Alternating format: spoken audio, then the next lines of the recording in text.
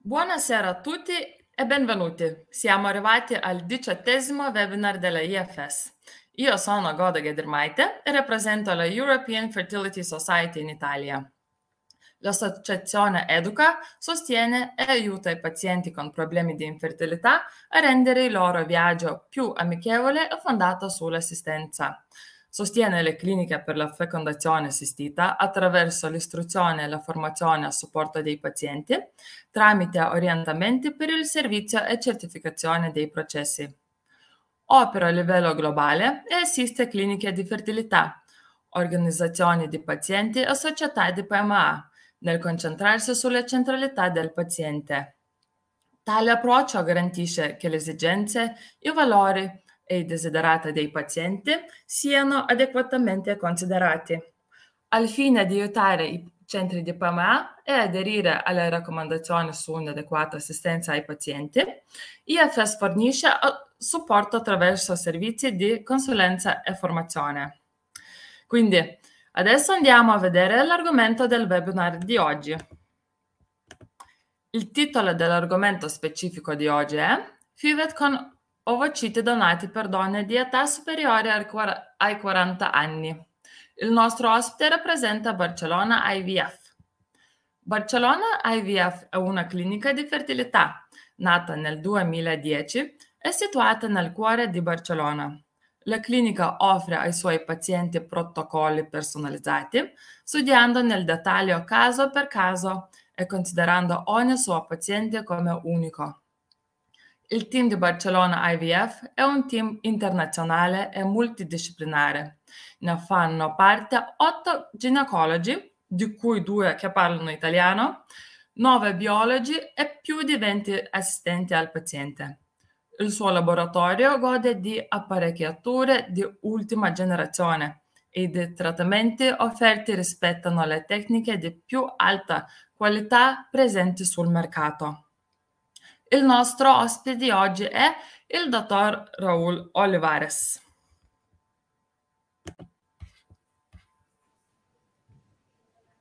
Salve. Buonasera. Buonasera, buonasera a tutti.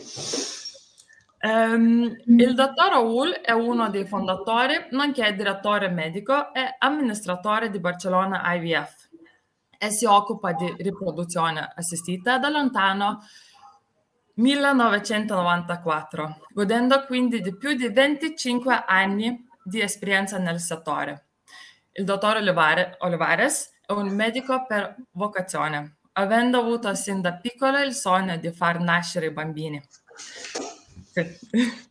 ha realizzato questo suo sogno nei primi anni della sua carriera per poi dedicarsi alla fase anteriore del concepimento e a tutti gli aspetti ad esso collegati, dedicandosi così pieno regime alla fertilità e alla produzione assistita, riproduzione assistita.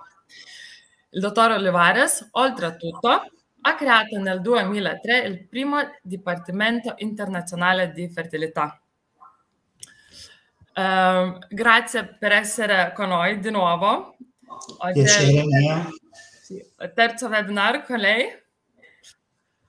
Um, um, vi lascio parola uh, tra un 10 secondi, secondi.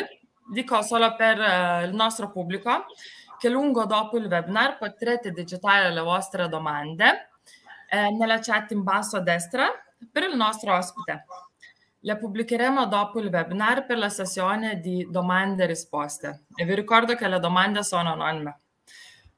Um, adesso lascio la parola, parola per dottor Olivares. Um, buona presentazione e dopo. Grazie, grazie Goda.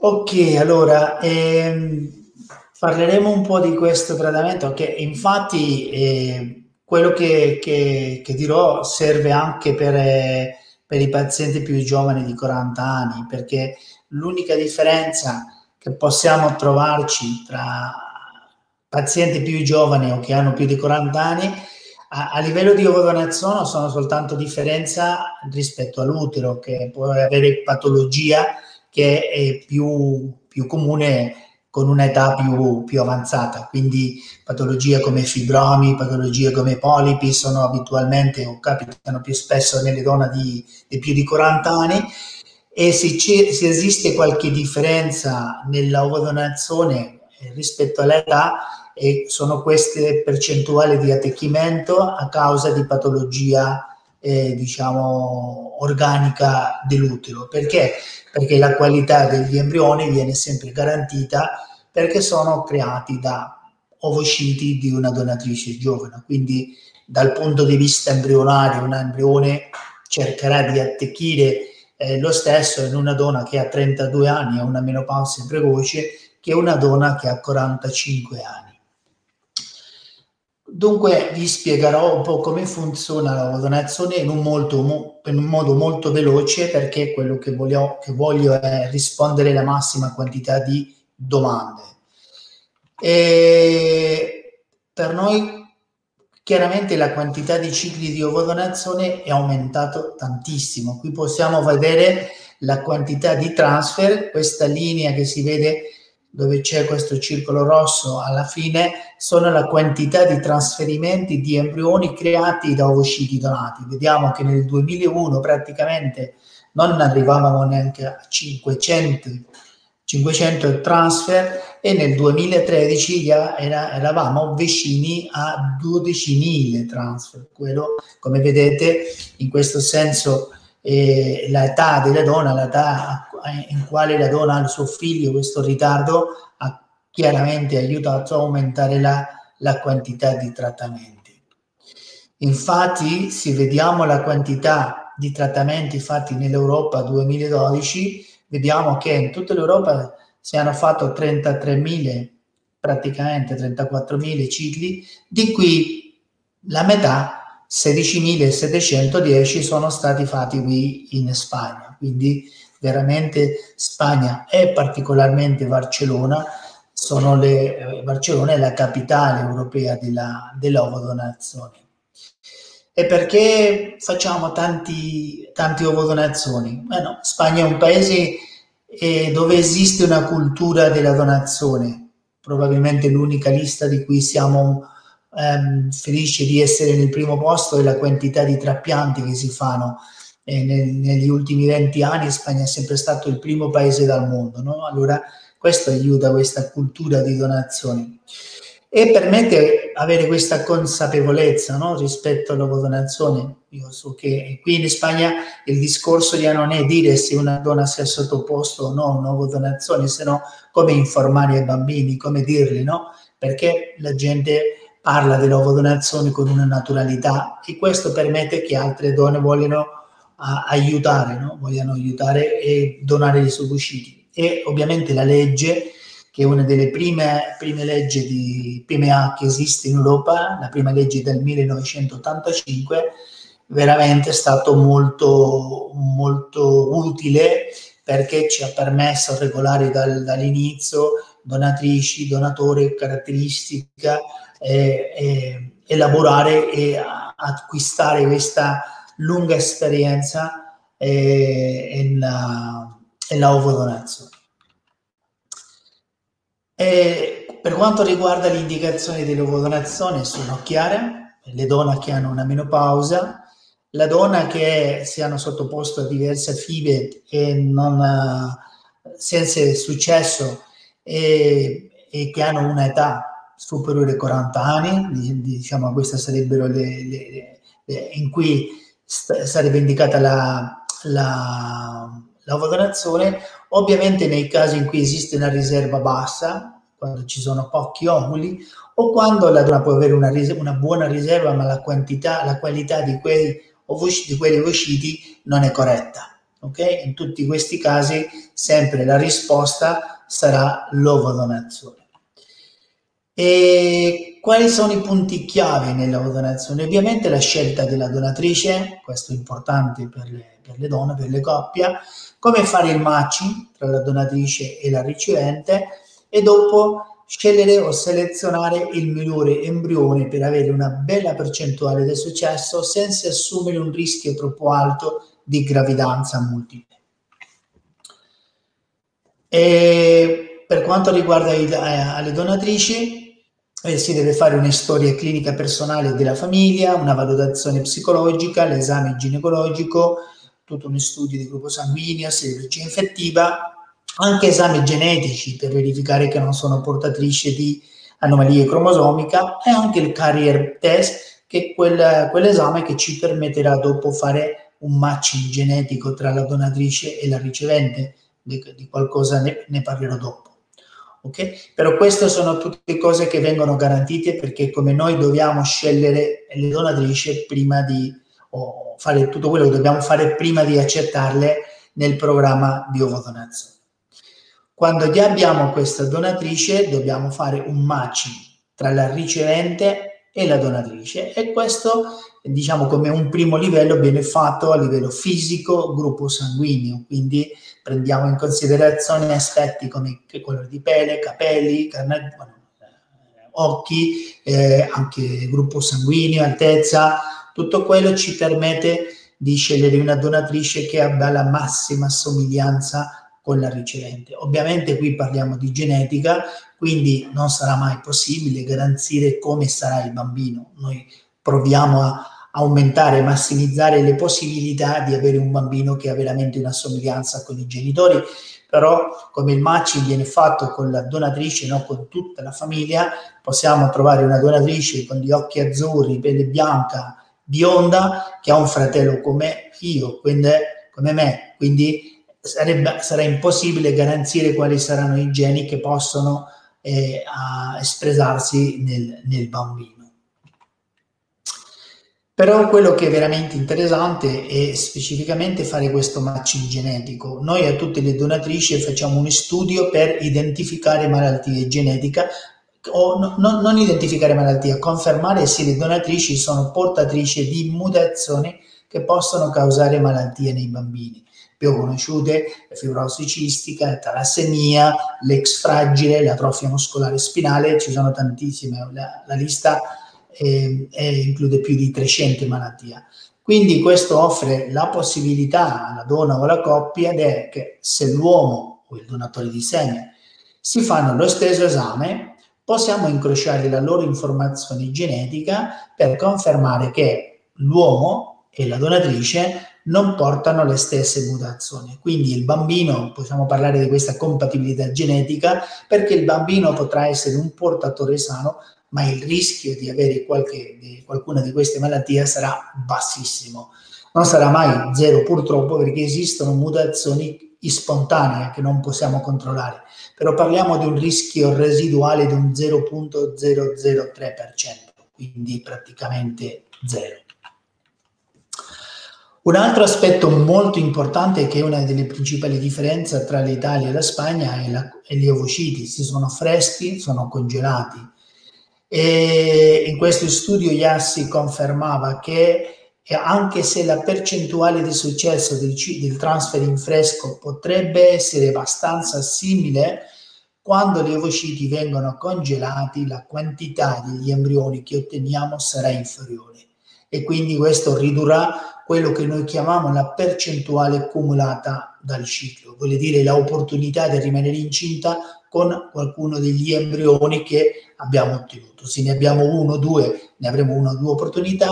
Se laboriamo in fresco, facilmente possiamo eh, finire con 4, 5, questo aumenterà la possibilità di avere questo bambino senza avere di ricominciare tutto, tutto il percorso. E questo è quello che noi osserviamo anche nel nostro, nella nostra clinica, questi sono dati del 2017, però vediamo che abbiamo una bella sopravvivenza, un 82% di sopravvivenza è molto corretto per una, gli ovociti vitrificati, le fecondazioni erano molto simili, però dopo la quantità di blastocisti era un 72% quando gli ovociti erano freschi, 62% con congelati, ma però anche la gravidanza era più alta con i freschi, vuol dire che non è soltanto una questione di quantità ma anche di qualità.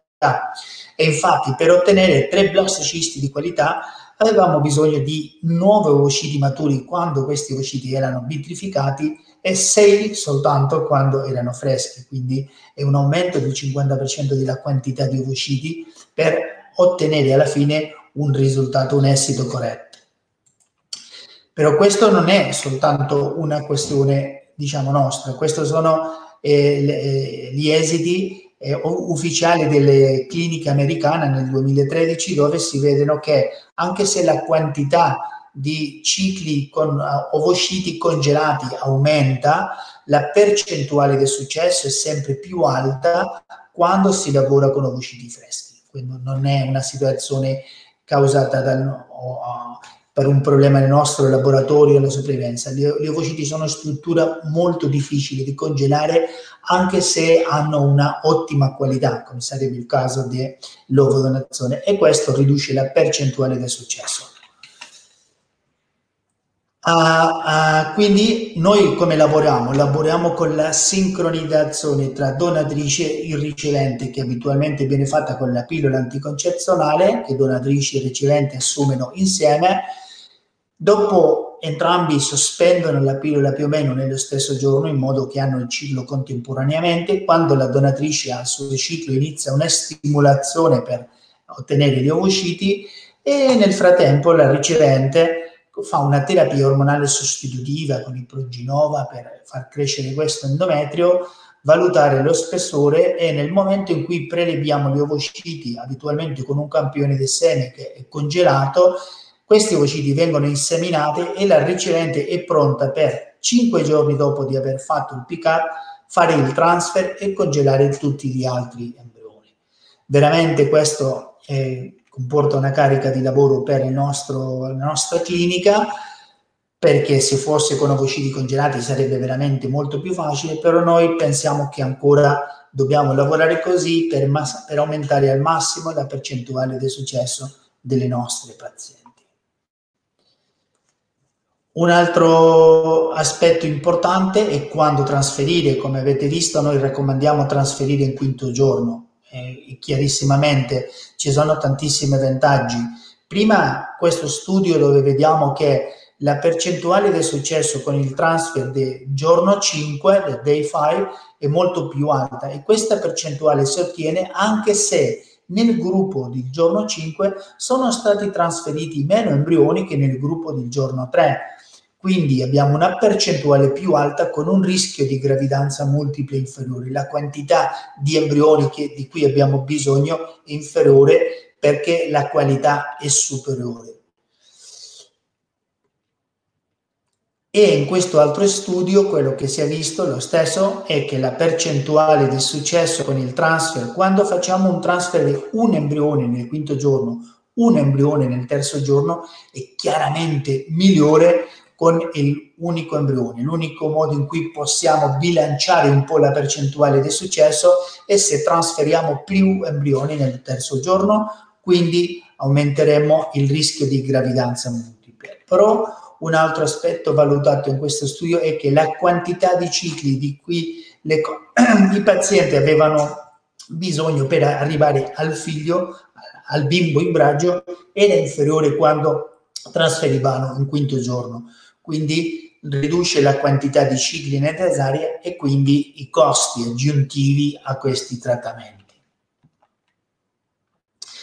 L'altro aspetto è come fare a livello di laboratorio per scegliere questo embrione è utilizzare l'embrioscope, che sono purtroppo questo è un video che non, non va in questa struttura, però bene, sono questi incubatori che hanno una camera che scatta foto ogni 15 minuti, ci permette di creare un video, un video che che ci permette di valutare le divisioni cellulari e questo fa che adesso noi quando scegliamo un embrione scegliamo non soltanto in base alla, alla, loro, alla sua morfologia nel quinto giorno, ma anche possiamo valutare come ha fatto i compiti durante tutti questi giorni e a volte possiamo trasferirne uno che non è così bello, però che è veramente fatto tutte le divisioni cellulare, che ha fatto tutto corretto durante questi cinque giorni eh, la percentuale del successo con, eh, con il, la tecnologia time lapse, che come si chiamano questi, embrio, questi incubatori, dopo c'è l'embryoscope e il Jerry, però la tecnologia time lapse sono chiaramente migliore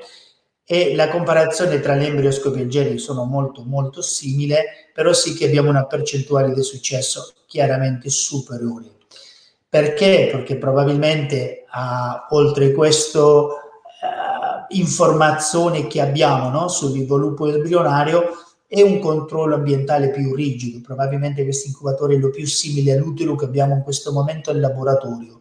Quindi la manipolazione che facciamo degli embrioni è minima e per me probabilmente questo, questo time lapse che vedete qua è anche migliore che trasferire gli embrioni in terza giornata nell'utero, perché gli embrioni nel ciclo naturale non arrivano all'utero fino al quarto o quinto giorno, quindi non possiamo neanche considerare che trasferire in terza giornata nell'endometrio sia una, una aiuta fisiologica, perché gli embrioni sono ancora nelle tuba e le caratteristiche delle tuba e dell'endometrio sono molto diverse.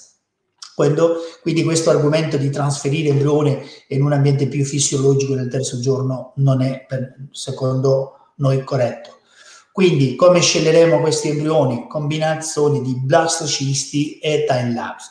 Questo permette una percentuale di impianto migliore, una possibilità di scegliere i migliori embrioni per portare o fare un eh, elective single embryo transfer, il trasferimento di un embrione elettivo e con una buona percentuale di successo e questo è buono perché riduce il numero di gravidanza multiple, non modifica la percentuale di gravidanza accumulata. È vero che potremmo avere bisogno di più tentative perché se trasferiamo 4 milioni uno a uno, questo può essere più costoso che trasferirne due, però noi come quello che vogliamo sono bambini sani, sappiamo che la, il modo più semplice di avere un bambino sano è una gravidanza singola. Dunque la, il transfer di un embrione solo deve essere consigliato in tutti i casi di buona prognosi, FIVE con donne più giovani di 37 anni e tutti i cicli di ovodonazione, specificamente donne che hanno più di 40 anni, in cui la gravidanza gemellare comporterà rischi alti di avere eh, un, un problema durante questa gravidanza. E questo è stato molto velocemente, ovviamente parlare di lavorazione ci permetterebbe di parlare tutto, tutto il giorno, come noi pensiamo che si deve fare, specificamente nelle donne di più di 40 anni dove dobbiamo sempre che sia possibile a, a ottenere una gravidanza singola. Grazie, grazie per la presentazione. Eh, passiamo alla parte Q&A domande e risposte. La prima domanda. Buonasera. Nell'ultima fecondazione in vitro con i miei ovuli, ho 40 anni, abbiamo avuto la conferma di trisomia 21, sindrome Down. Possiamo fare il PGT testing con la donazione degli ovuli per assicurarci che non succeda una seconda volta? Che lo consiglia? Grazie. Se e no vuole dire se puoi fare una diagnosi genetica preimpianto e non una ovodonazione di ovociti, però c'è un'indicazione medica? No, qui per quanto riguarda la trisomia 21 il principale rischio è l'età della donna e in una ovodonazione l'età della donatrice sarà sempre inferiore a 35 anni. Una donna di 27 anni può avere un, una sindrome di Down? Sì, può capitare.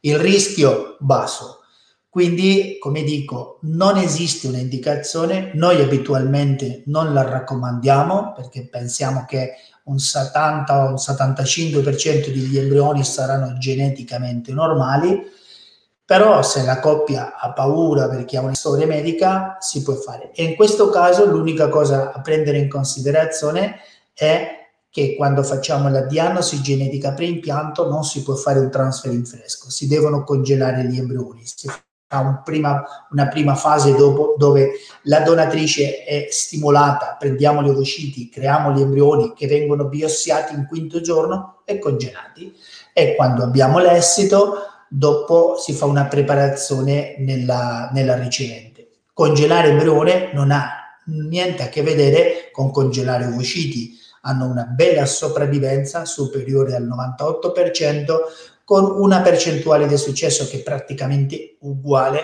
ai eh, blastocisti freschi.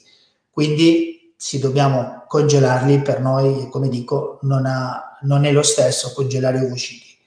Allora, come dico, è una scelta personale, però abitualmente non viene raccomandata perché il rischio genetico di questi embrioni è basso.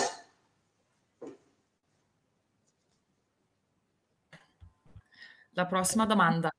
Buonasera dottore, ho avuto una gravidanza naturale a 39 anni e parto vivo. 3 UI all'età di 43 anni, la seconda IUI con conseguente gravidanza, ma è seguito un aborto spontaneo a sett- 10 settimane. Varrebbe la pena provare la fecondazione in vitro con i propri ovuli prima di provare con l'uovo del donatore? Quello dipenderà dalla riserva ovarica. Perché? Perché ovviamente come lei, come lei ve, può vedere, lei è già rimasta incinta. Il problema non è a volte non è tanto rimanere incinta come avere un bambino, questa è la principale differenza dopo i 40 anni, perché per la qualità genetica degli ovociti. Quindi la FIVE permetterebbe di fare uno studio genetico di cui parlavo prima, la diagnosi genetica preimpianto, per confermare se questi embrioni sono geneticamente normali. Qual è la possibilità di trovare un embrione geneticamente normale ai 43 anni? Un 10%. Quindi la limitazione per raccomandare un trattamento è ovviamente la quantità di ovociti che possiamo, che potremo prelevare. Una combinazione di età di più di 40 con una bassa riserva ovarica abitualmente ci fa raccomandare direttamente l'eterologa. Ma se una donna di 43 anni ha una bella riserva ovarica che ci permette di ottenere 10-12 ovociti, Bene, allora sì, specialmente in questi casi di sterilità secondaria, vuol dire che la coppia ha già un figlio, provare una volta sarebbe interessante e ovviamente la percentuale non sarà mai la stessa che una ovodonazione, ma come a volte anche il percorso per arrivare alla ovodonazione è molto diverso. E ci sono pazienti che preferiscono fare tantissimi trattamenti altri che già dall'inizio scegliono quello che è più facile, più efficiente, però mh, con una riserva che ci, permette, ci permetta di ottenere una quantità di ovociti corretta e sempre con la diagnosi genetica per impianto per evitare quello che è accaduto con la, con la, con la UI, UI eh, mi, sembra, mi sembrerebbe bene.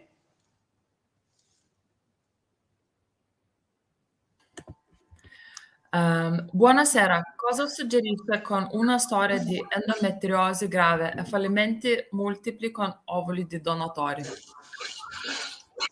Qui dipende un po' da se questi, questi embrioni sono stati creati con ovociti freschi, congelati, ovviamente anche della qualità degli embrioni, perché non possiamo dimenticarci che a volte anche l'uomo, anche se l'uomo abbia una, una, un spermiogramma assolutamente normale, a volte ci sono fattori nascosti a livello degli spermatozoi che possono causare un problema nelle ovodonazioni. Quindi è vero che l'endometriosi, specialmente quando è grave, può ridurre leggermente la percentuale di attecchimento perché può esistere quello che chiamiamo una adenomiosi, che è una infiltrazione della, del miometrio per l'endometriosi, però io in questo caso prima raccomanderei di fare qualche studio a livello di seme per valutare se esiste una frammentazione aumentata, un rischio di aneuploidia più alto a livello degli spermatozoi. Se chiudiamo questa porta del fattore maschile, quindi probabilmente si può provare a fare una suppressione ovarica con un trattamento con analogo della gene RH per ridurre la e questo ci permette eh, a volte di aumentare la percentuale di successo perché questa adenomiosi, specialmente quando è vicina all'endometrio, può difficoltare a volte ehm, di un modo importante l'attecchimento embrionario. Però questo sarebbe nel caso di confermare che gli embrioni trasferiti o che possiamo creare sono di ottima qualità. E ovviamente se questo, questi trattamenti sono stati fatti a volte con ovociti congelati, come abbiamo visto, non sappiamo quanti, di quanti fallimenti ne parliamo, e provare con ovociti freschi può permettere di migliorare la qualità embrionaria. Grazie per la risposta. Passiamo alla prossima domanda. Buonasera, ho 43 anni e sto valutando la eterologa in seguito a tanti fallimenti. Vorrei chiedere se il liquido seminale di mio marito, che ha 58 anni e che all'ultimo esame aveva una concentrazione nemaspermica di 10 per 10 alla sesta ml ha buone opportunità. L'età non è un fattore così importante nell'uomo, infatti qui in, in Spagna le donne possono essere donatrici fino a che hanno 35 anni, l'uomo fino ai 50 anni, ma è vero che dopo i 45 anni può aumentare quello che chiamiamo la frammentazione del eh, DNA e questo può ridurre l'efficienza di una ovodonazione. È vero che la frammentazione, che vuol dire che il DNA che c'è nella testa degli spermatozoi è frammentato, è un problema che devono risolvere gli ovociti e che la qualità ovocitaria è molto importante. Cioè che ovociti di una donatrice hanno una capacità di risolvere il problema più alta che ovociti di una donna di 43 anni. Quindi l'impatto della frammentazione a livello della ovodonazione sarà probabilmente inferiore, ma se questa frammentazione è alta, superiore a un 77%, questo può incidere sulla qualità genetica degli e ridurre anche la percentuale di attecchimento, aumentare il rischio di aborto. Esistono tecniche a livello di laboratorio per ridurre l'impatto della frammentazione, quindi io nel suo caso eh, probabilmente prima di valutare l'eterologa farei qualche studio a livello di seme frammentazione di DNA per l'età, la concentrazione è un po' nel limite, 10 milioni di millilitri, sappiamo che il livello normale sono 15, però se abitualmente non è una oligodospermia importante, non sarebbe necessario neanche fare una valutazione genetica del seme. Ma la frammentazione un po' per capire come può andare, no? per valutare se la quantità di embrioni che potremo ottenere sarà corretta, se la quantità di blastocisti di qualità sarà quella che noi speriamo, mh, mm, sarebbe interessante per, per, il fattore età. Se la frammentazione è normale, probabilmente eh, questo spermiogramma non cambierà tanto la percentuale di successo. Grazie. Eh, l'utente ha anche pubblicato che frammentazione del DNA è 35%. Il problema della frammentazione è che ci sono come cinque esami diversi, non è lo stesso un tunnel, un tunnel per esempio 35 è anormale, un SCSA o SCD che un 35 sarebbe più o meno nel limite, consideriamo 30, che per esempio una, un comet un Comet, un 35 sarebbe assolutamente normale. Quindi eh, se è stato fatto in Italia probabilmente se ha un SCD o un test di, condensazione in cui 35 è leggermente anormale, probabilmente l'impatto sull'ovodonazione non sarebbe così alto perché non è un indice molto molto molto aumentato. Però purtroppo ho bisogno del, non soltanto della frammentazione della percentuale, ma anche dell'esame. Grazie. Uh, prossima domanda. Mm. Anche l'età del partner maschile influisce sul successo della gravidanza? E l'evidenza scientifica eh, ci dice che a livello di anomalie genetica Probabilmente no se il partner ha meno di 65 anni, che sarebbe il punto in cui l'uomo può contribuire a aumentare il rischio del sindrome di Down. Però, come ho, ho appena spiegato, chiaramente la frammentazione del DNA sì che può aumentare dopo di, eh, i 45 anni, specialmente in quelli, in quegli uomini che hanno fattori di rischio, no? come eh, fumatore, alcol, eh, varicocele, sono fattori che possono anche aumentare il rischio di frammentazione. Quindi se l'uomo ha un'età superiore a 45, però sempre che l'uomo ha un'età superiore a 50 anni, noi raccomandiamo di fare un studio di frammentazione per fare la vita degli ovociti più semplice perché si devono risolvere meno problemi, probabilmente la quantità e qualità degli embrioni ottenuti sarà migliore. Grazie. Prossima domanda. Eh, questa domanda è legata alla prima, prima primissima domanda. Eh, mi spaventa un po' un poco l'idea di non sapere se la donna, donante durante la stimolazione con gli ormoni fa un, una dieta sana, non fuma, eccetera. Questo non si può controllare, vero? Ovviamente noi, noi controlliamo perché per noi è molto importante avere la tranquillità che il trattamento non causerà un problema nella donatrice, non, non, non, diventerà un rischio, quindi noi confermiamo che la donante e la donatrice è sana, che fa tutto, tutto correttamente. Ovviamente fumare può ridurre la qualità degli ovociti?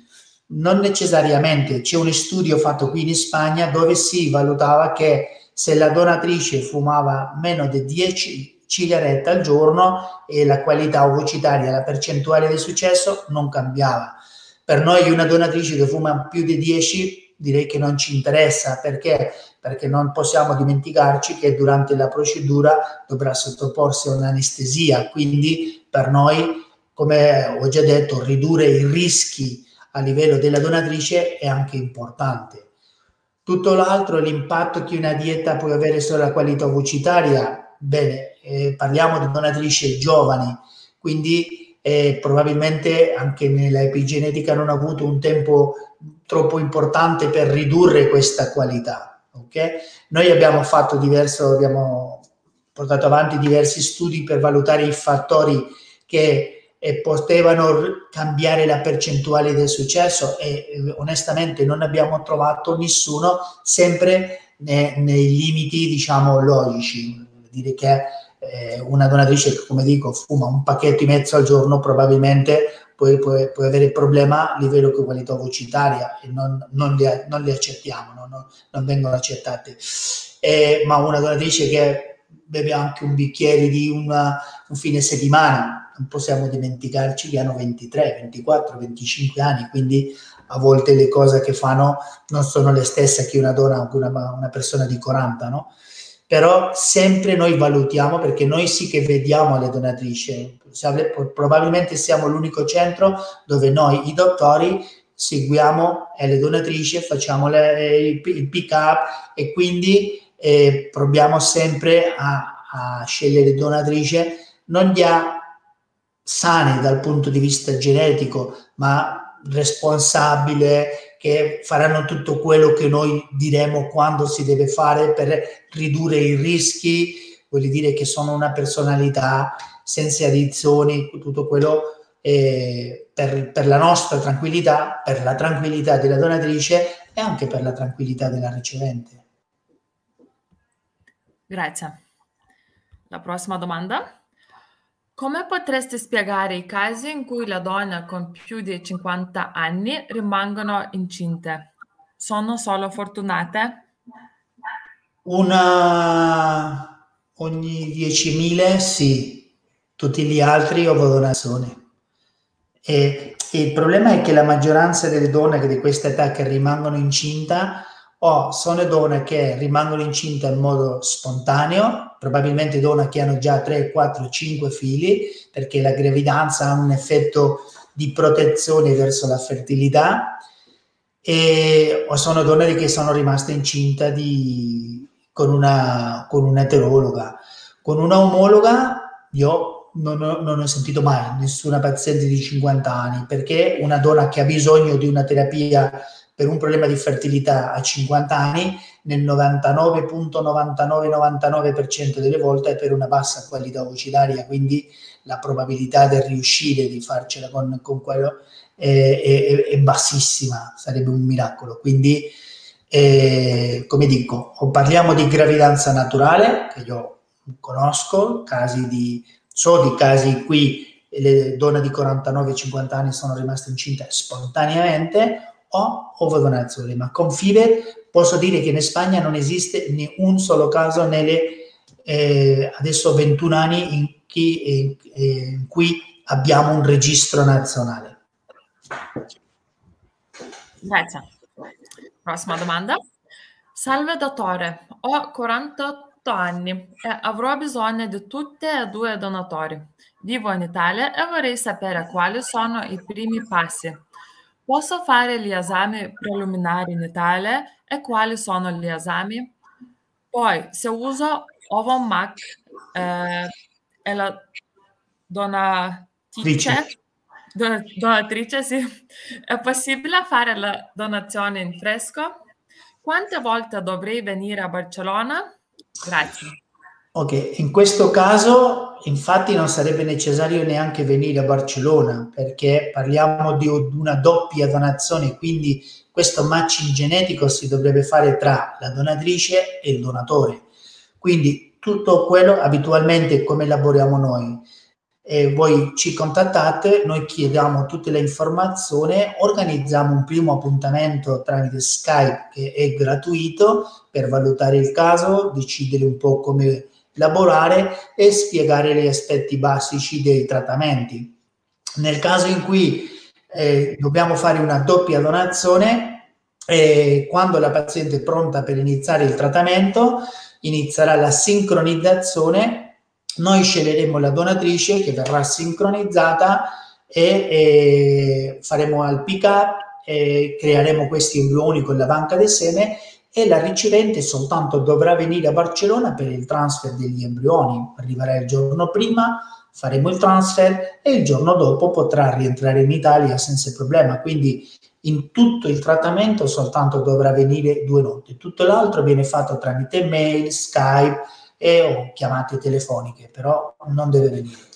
Nel caso di una donna che ha un partner, che ovviamente sì che raccomandiamo venire a Barcellona una volta prima di cominciare il trattamento per congelare il campione di seme, per fare, e, nel caso in cui la coppia vuole, fa, voglia fare il, il matching genetico, questo è il prelievo di sangue per dopo incrociare la informazione genetica dell'uomo con quella della donatrice però eh, dopodiché la prossima volta che ci vedremo sarà nel transfer uguale, uguale, vuol dire che quando già abbiamo un campione congelato qua, lavoriamo con il campione congelato e la coppia soltanto deve venire a Barcellona. Scusa. Quindi coppia eterosessuale o con, uno, con un uomo due volte, una prima per congelare il seme, un'altra il transfer. Nel suo caso soltanto per il transfer degli embrioni, tutto l'altro verrà fatto tramite mail, o contatto attraverso le Skype, tramite le Skype o telefonate. Grazie.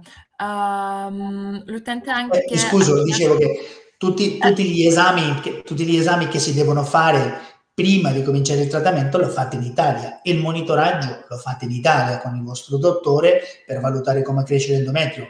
Per quello tutto l'altro sarebbe soltanto venire per il transfer. Scusa. Sì, eh, quale esame devo fare?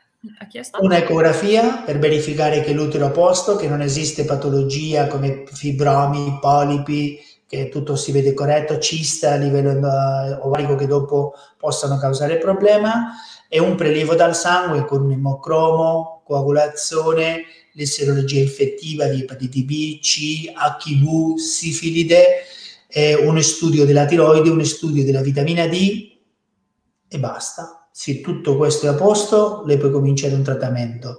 Se vediamo che esiste qualche problema, sì che è vero che nelle donne che hanno più di 45 anni, a volte chiediamo un referto del ginecologo che la segue autorizzando questo trattamento. Noi sempre che possibile proviamo a aiutare le pazienti senza aumentare troppo i rischi ostetrici. Quindi se esiste qualche patologia possiamo a volte chiedere l'autorizzazione dal ginecologo per eh, fare il trattamento. Grazie. Prossima domanda. Salve, esiste una correlazione tra età del ricevente e successo della gravidanza con ovodazione? Leggerissima, per quello che ho detto all'inizio, le donne che hanno 48 anni possono avere più patologie a livello dell'utero e questa patologia può ridurre la percentuale di attecchimento anche se la qualità degli embrioni è, è, la stessa, sia la stessa. No? Quindi eh, E, però oltre questi aspetti diciamo anatomico o organico del, dell'utero la percentuale di attecchimento degli embrioni come la qualità sarà esattamente uguale a 43 che a 49 anni non, non comporterà un cambio una differenza importante soltanto a livello dell'utero a livello della salute a livello di come questo corpo potrà dopo rispondere alla gravidanza però dal punto di vista embrionario non cambierà Grazie. Consiglio a tutti la clinica IVF. Attualmente sono incinta grazie a loro in seguito, in seguito a un percorso di ovodonazione. Ho 43 anni, sono nella settimana, settima settimana. Troppo presto per dire che è andato tutto bene, ma al momento mi godo questo positivo dopo quattro anni di ricerca. Un caro saluto a tutto lo staff. Eh, non è una domanda. Per...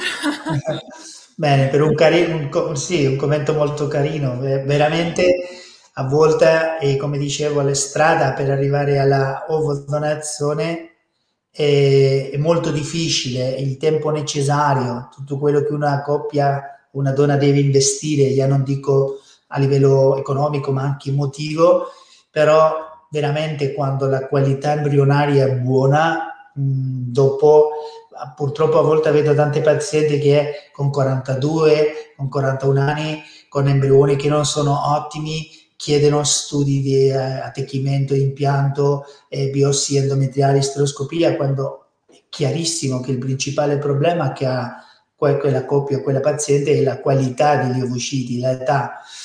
Eh, per chiedere esami di attecchimento, di, di impianto, dobbiamo prima confermare che la qualità embrionaria e non soltanto la qualità morfologica è buona.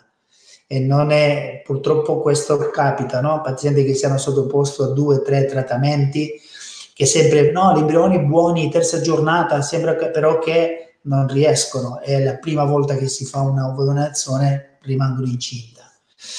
Eh, o la prima la seconda, però chiaramente è un trattamento che dopo ognuno deve decidere quando cominciarlo. Eh, beh, adesso passiamo alla domanda. eh, la sua clinica ha accesso agli ovociti congelati. Qual è la sua opinione su di loro rispetto al rischio e alla facilità di tempistica per il ciclo combinato e il viaggio? Ne abbiamo, ne abbiamo perché a volte abbiamo donatrici che nel giorno del pick up e la coppia che vuole uh, ottenere un campione in fresco non ce la fa per arrivare e dobbiamo congelare questi ovociti. Come dico, a noi si possiamo scegliere, preferiamo eh, lavorare con ovociti freschi. Nel caso in cui per una difficoltà logistica, tempistica, e dobbiamo congelare, noi preferiamo lavorare con ovociti freschi e congelare gli embrioni che dopo verranno trasferiti nel momento più facile, più semplice per la paziente che non congelare ovociti. Io preferisco creare, per esempio, una delle cose che abbiamo imparato purtroppo dopo il Covid è che quando congeliamo tutti gli embrioni la percentuale del successo di questo primo criotransfer è praticamente uguale a quando trasferiamo in fresco. Quindi ancora non abbiamo la tranquillità per cambiare tutti, congelare tutti gli embrioni, però eh, so che in Italia ci sono cliniche che preferiscono eh, mandarci il seme, creare gli embrioni e dopo spostare i blastocisti e non lavorare con ovociti freschi.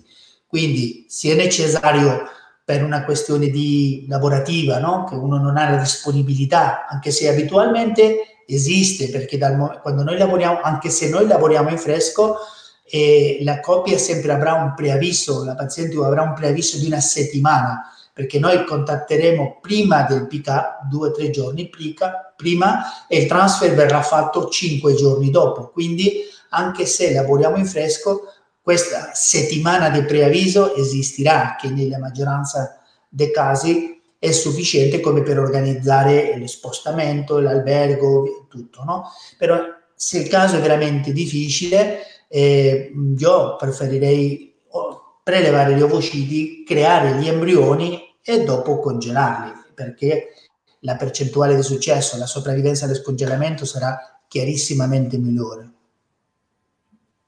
Grazie. C'è la possibilità di avere una gravidanza al primo tentativo avendo utero ed endometrio buoni nonostante sia in menopausa precoce da 2 anni a 42 anni. Sì, sì, infatti come ho, ho detto durante la, la relazione, eh, un, probabilmente la principale indicazione per la FIVE e per la ovorazione è la menopausia, sia precoce che ai 48 anni, che sarebbe più normale. È vero che sì, l'unica differenza quando una donna non ha avuto il ciclo per un paio di anni, tre anni o più anni, a volte e può capitare che quando, prepare, quando si fa la preparazione l'endometrio non risponde così velocemente come una donna che ha il ciclo regolare e questo quando lavoriamo in sincronizzazione può essere un problema perché possiamo avere una donatrice che arriva il giorno del pick up e la ricevente non è ancora pronta perché l'endometrio non è cresciuto sufficientemente veloce.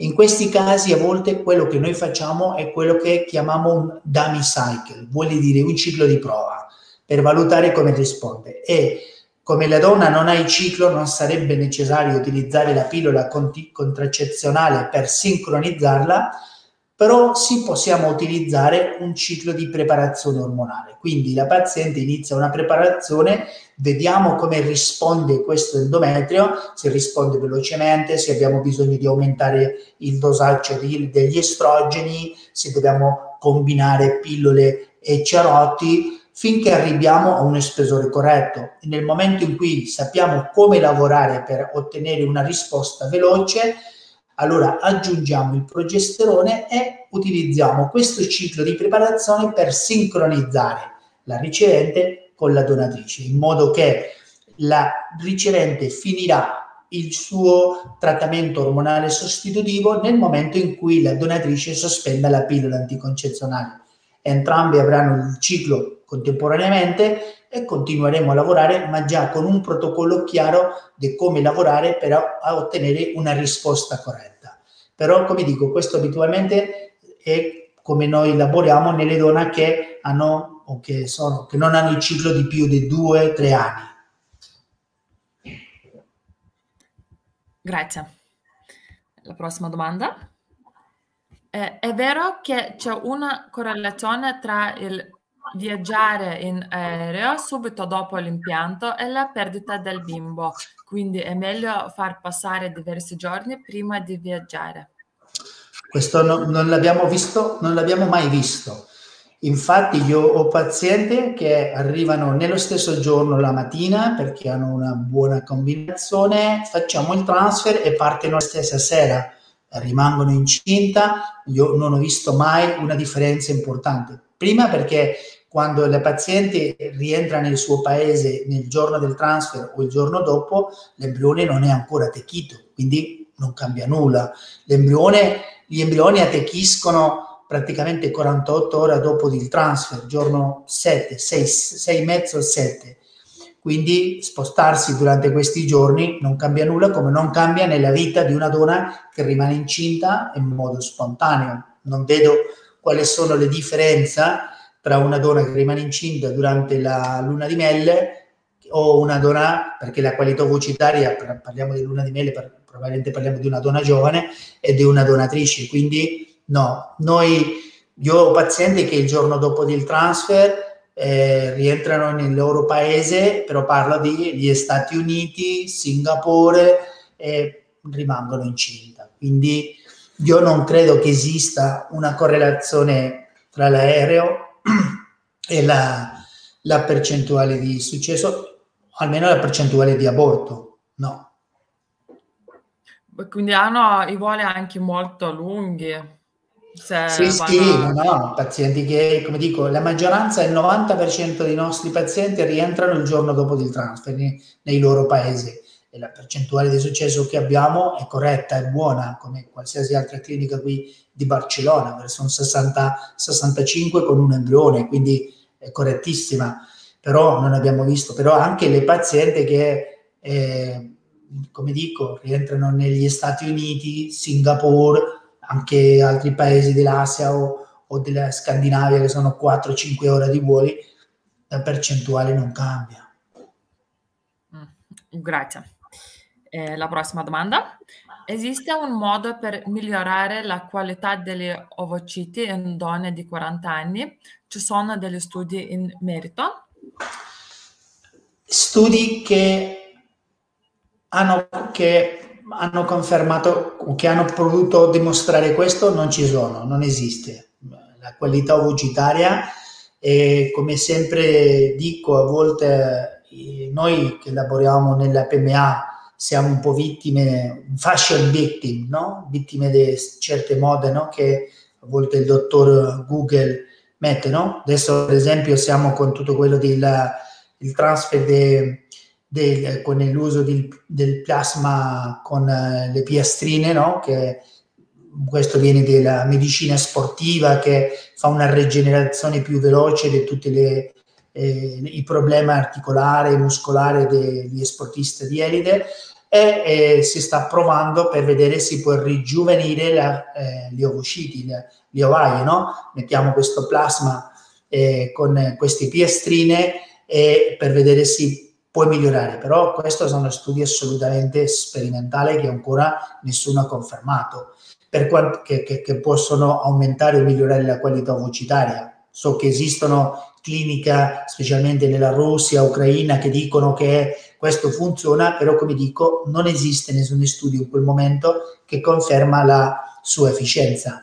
Per quanto riguarda, riguarda altri trattamenti o sostanze, coenzima Q10, mioinositolo, chiroinositolo, eh, DHA, testosterone, eh, antiossidanti, siamo nella stessa situazione. Ci sono studi che dicono che possono aumentare la quantità degli ovociti, però alla fine nessuno, perché veramente non sono stati disegnati in questo senso, conferma che esista una quantità superiore dei bambini. E noi l'unica cosa che ci interessa sono i figli. Per me ottenere più ovociti, se dopo questo non comporta una percentuale di successo maggiore, più possibilità di avere un bambino, non mi interessa. Quindi dal punto di vista del bimbo in braccio, ok, nessuna sostanza ha mai provato a aumentare questa percentuale. Grazie. Avete ovociti donati solo dalla Spagna? È possibile averli anche da altri paesi o continenti? Sì, no, bueno, qui la Spagna è, come ho detto, il paese più importante nell'Europa, però l'altra metà dei cicli viene fatta ad, Repubblica Ceca, anche Inghilterra, e in certi casi si può fare alla Francia, a Belgia, eh, ci sono altri paesi dove si può fare, penso che anche Bulgaria, e ovviamente i paesi della Russia, Ucraina, si può, alla Grecia si può fare anche l'ovodonazione. Dopo la regolazione, l'esperienza, eh, qui diciamo che abbiamo un fattore negativo per noi, positivo per voi, che è la quantità di clinica. Spagna è il paese dell'Europa con più clinica di PMA, soltanto a Barcellona ce ne sono 20, quindi questa competizione, competitività è negativa per noi, però allora ci è spinta a sviluppare, a imparare, a, a lavorare meglio perché abbiamo una, tante altre cliniche qui e questo alla fine comporta un miglioramento della percentuale di successo a, a, per le pazienti. Quindi, eh, sì, ovviamente negli Stati Uniti si può fare una donazione, il costo sarà probabilmente 10 volte superiore a quello che è, se noi qui una donazione sono 8.000 euro, 7.000, 8.000 euro, negli Stati Uniti 70.000, 80.000 dollari, sicuro. Quindi non so se vale la pena perché la percentuale di successo non è significativamente migliore. Quindi Spagna è il, il, il, diciamo, il paese più importante, ma non è l'unico. Grazie. Ehm, la prossima domanda, che penso sarà anche um, la ultima. Eh, Le cliniche spagnole in Italia lavorano solo con ovociti congelati? Non so se ci sono uh, le cliniche sì, spagnole. Sì, ci sono perché ci sono cliniche, altre cliniche. No, a volte quello che fanno è quello che ho detto prima, no? Di congelano il seme che viene spostato a Barcellona o a un'altra città dove vengono creati gli embrioni congelati blastocisti che dopo sono eh, spostati in Italia, no?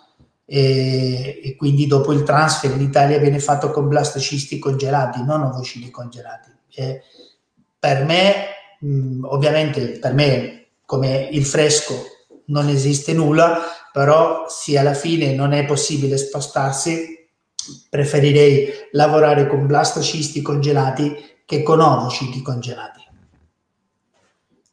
Grazie. Ehm, quindi finiamo il nostro webinar.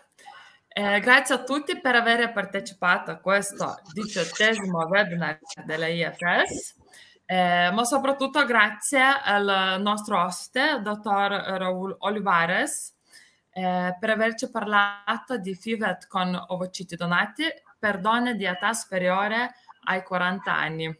Grazie per essere con noi per la terza volta e non è l'ultima volta. Eh, Spero di no. Eh, no, no, io so che... Questo vuole eh, dire che lo faccio più o meno bene. sì, sempre molto bene. Eh, e sempre abbiamo tante domande, quindi... Ehm, eh, le eventuali domande in evase le inoltreremo al dottor Olivares che provvederà a rispondervi in maniera diretta. Per chi di voi lo desiderasse, inoltre sarà per noi un piacere mettervi in contatto direttamente con il nostro credito ospite tramite il sito myivfanswers.it.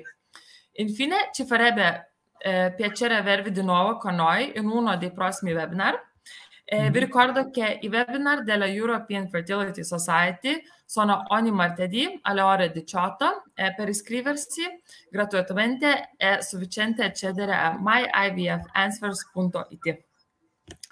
Uh, eh, grazie, per, grazie, grazie per essere con noi. Eh, spero che tutta la settimana uh, andrà molto bene. Perfetto, grazie. Gracias. Arrivederci. Arrivederci. Buenas tardes. Buenas tardes.